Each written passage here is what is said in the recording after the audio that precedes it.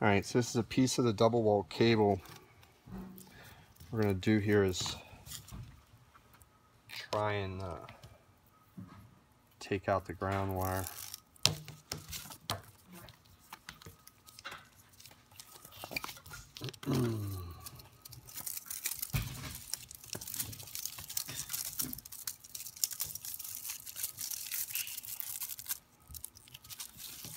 Alright, so here's the ground wire.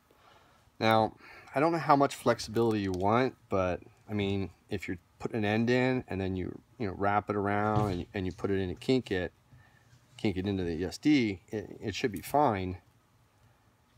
I mean, if you sit there and bend it back and forth over and over again,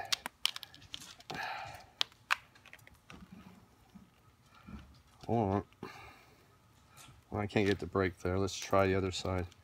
I mean, if you bend it, there we go. I mean, I had to bend it like that to get it. But I mean, if you're coming out of an end, so pretend the cable's there, and then you loop it up around, and you stick it through the hole, and you crimp the end on it, cut it. I mean, that's plenty of flexibility.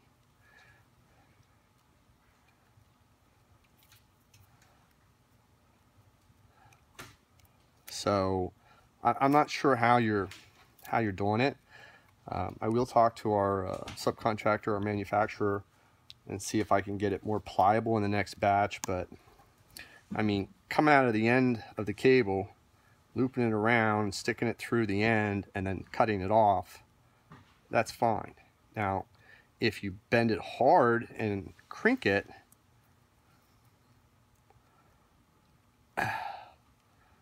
and then there you go. I mean, it takes a lot to break it, but I mean, I can try to get it made softer, but I mean, I, I don't think it's, my guys aren't having any problems with it. So I, I don't, I don't know.